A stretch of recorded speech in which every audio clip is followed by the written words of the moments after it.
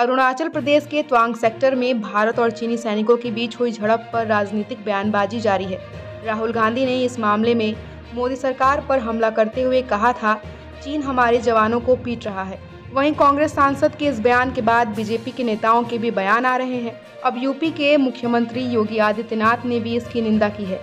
सुनिए उन्होंने राहुल गांधी पर तंज कसते हुए क्या कुछ कहा है। कांग्रेस पार्टी के वरिष्ठ नेता पूर्व अध्यक्ष राहुल गांधी का बयान। अत्यंत ही अमर्यादित बचकाना और राष्ट्र विरोधी तत्वों को प्रेरित करने वाला अंतर्राष्ट्रीय स्तर पर भारत और भारत की बहादुर सेना को अपमानित करने वाला है। हम उनके इस बयान की निंदा करते हैं। ये बड़ा आश्चर्य है कि जब पूरी दुनिया और पूरा देश इस बात को कह रहा है कि भारत के बहादुर जवानों ने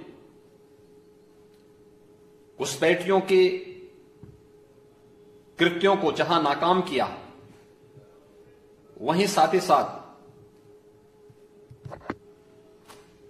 भारत के उन बहादुर जवानों के शौर्य और पराक्रम का सम्मान करने की बजाय उन्हें कटघरे में खड़ा करना, मुझे लगता है कि यह कोई भी भारतीय स्वीकार नहीं करेगा। और यह पहली बार नहीं हुआ है। इससे पहले डोकलाम में भी जब घुसपैठ हुई थी, उस समय भी भारत के जवानों के और पराक्रम का सम्मान करने की बजाय, उस समय भी कांग्रेस पार्टी और श्री राहुल गांधी का चरित्र, जग ज़ाहिर था। वे चीनी दूतावास के साथ मिलकर के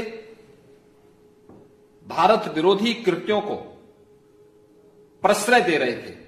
अत्यंत शर्मनाक है। उनका बयान अत्यंत निंदनीय है। जब भी देश के सामने कोई चुनौती आती है, कोई संकट आता है, इनका एक चरित्र पूरा देश इसी रूप में देखता है ये भारत को कटघरे में खड़ा करते हैं। भारत के बहादुर जवानों के शौर्य पराक्रम पर उंगली उठाते हैं। हम कांग्रेस और राहुल गांधी की इस सोच की निंदा करते हैं और उनसे ये मांग करते हैं कि वह देश की और देश की जनता से, देश के बहादुर जवानों से माफ़ी मांगे और देश को ये बार बार कटघरे में खड़ा करने की अपनी बचकाना और मर्यादित आचरण से वह, मुझे लगता है कि उनको बचना चाहिए। गाजीपुर की शान का होटल ग्रैंड पैलेस। शादी हो इंगेजमेंट हो बर्थडे पार्टी मैरिज एनिवर्सरी या किट्टी पार्टी, या हो कोई मीटिंग आपके पार्टी में भर दे जाम अत्याधुनिक सुख सुविधाओं के साथ तीन बैंक्यूट हॉल लजीज व्यंजन से संपन्न, शानदार रेस्टोरेंट आपके पार्टी में चार चाँद लगाने के लिए बड़ा सा लॉन और पार्किंग की सुविधा। ज़रूर पधारिए द होटल ग्रैंड पैलेस चुंगी हीरो एजेंसी के सामने, लंका गाजीपुर